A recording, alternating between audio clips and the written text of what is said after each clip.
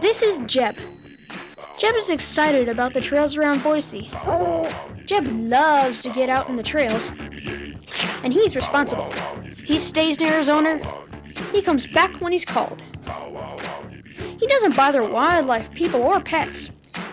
And his owner cleans up. Be like Jeb. Be responsible. For more information on Boise's trails, visit Parks and Rec.